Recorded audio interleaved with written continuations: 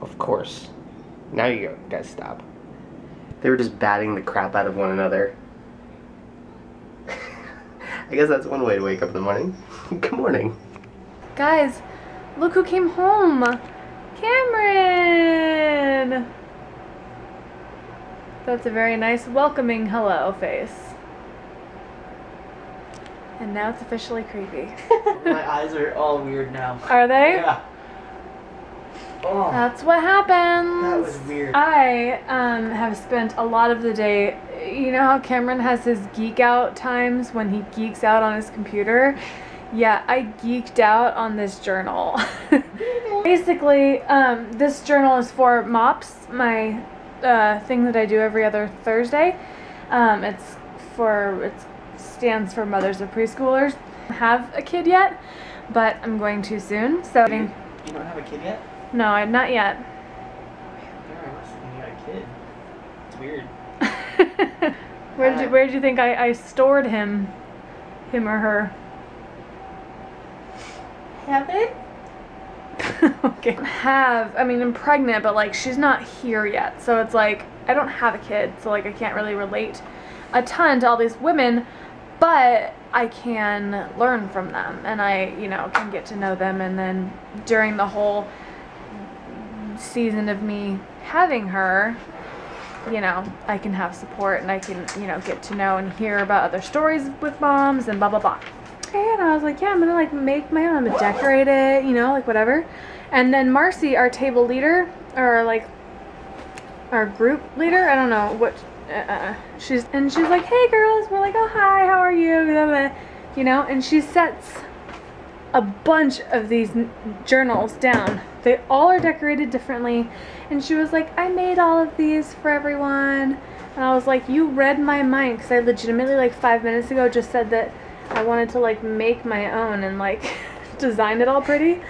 Um, so she did the work for me. and um, so I picked out the one that I wanted, and that was this one. I haven't gotten a chance to get it all organized and set up yet, but I have now. It took me a lot of the day, actually. I was on and off working on it because I was also editing videos and blah blah blah. But um, I feel good about it. I have every week so far. We've only had three meetings, but I've written down um, the lessons and what I've learned and what I took from it. This past week, we got this really cool paper, and it has a Bible verse on it, and it's a verse. She broke it down for us, and she took us through all of it, and we got to um, to really understand what this verse meant. And if you guys aren't interested in the Bible or um, anything like that, then uh, I'm very sorry or to offend anyone. This is just something that that I'm going going through. I really enjoyed the lesson that we learned from it. So now he's finally home from work. Today's been a long day, kind of, but not, and it's been relaxing. But um, I've been doing a lot, so Danielle decided that it was creepy and decided that it would be appropriate to grab my mammaries and twist them. Okay, do you know why I did that? Because I looked at her like this. Cameron, that is not a true statement. Don't listen to him, people. Listen to me, people. I mean, I personally think of more. I think of you more than people. Apparently, Danielle thinks of you just as people. They are Careful, people. she's gonna just. She's gonna grab your mammaries and twist. No, that's only you. Naming tomorrow's video, grab your mammaries. I mean, it's breast ca- it's breast cancer awareness month, so you should It is? yeah, you should grab your mammaries and make sure everything's okay. Cook faster. I'm I'm excited for that piece of pizza. That one's a little weak, but that one's got all the goodies on it. Danielle's reflection in the really dirty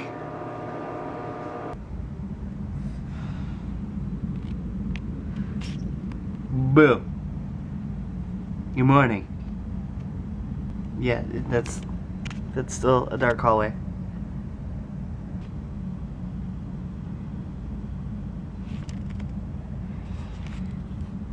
The is a Slender Man out there? Oh, no, maybe. You think so? Slender Man out there. Should we close? Should we close that door? We should. Yeah. Should we? Should we close the doors? Would we be Would we be safer? I think I think that's what she's trying to tell me. Would we Would we be safer if that door was closed? Did you hear Rascal? She sounds like a dinosaur sometimes. Sometimes she does.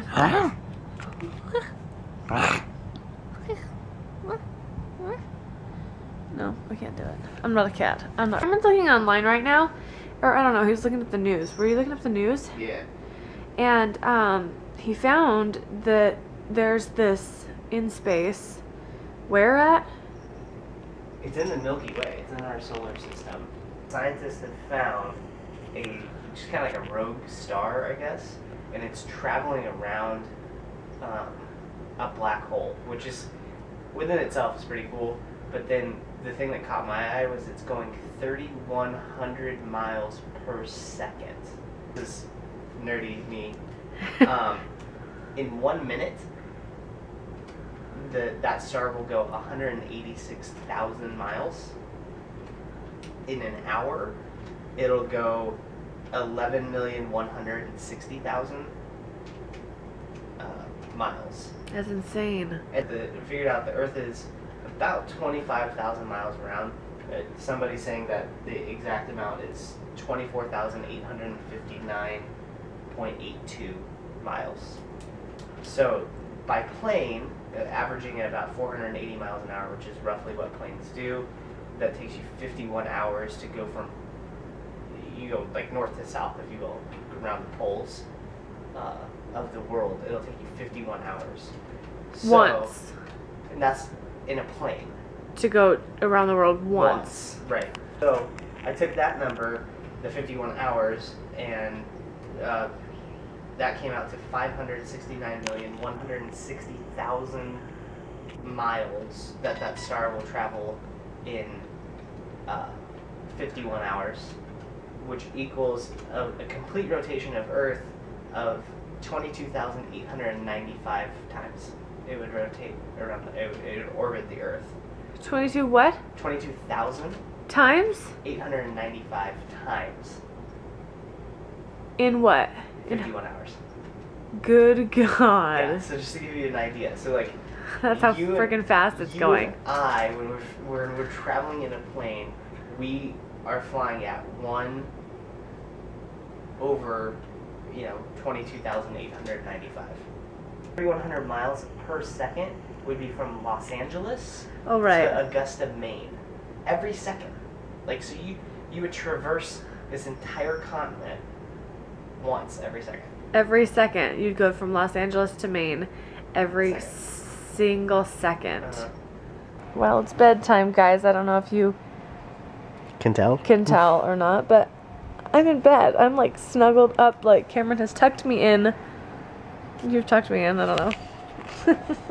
I didn't. I didn't tuck her in. I That just felt it was kind of weird. that that did not happen. Go to bed, and I think we're both gonna go to bed. Are you ready for bed? yeah, I'm so ready. Um, I was ready for bed two hours ago.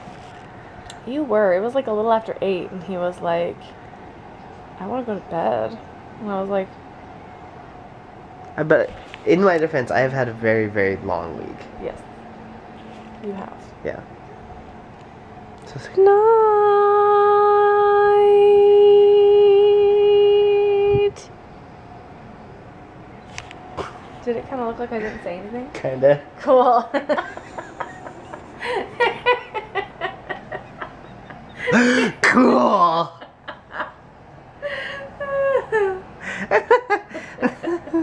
we, I gotta go to bed. Good night.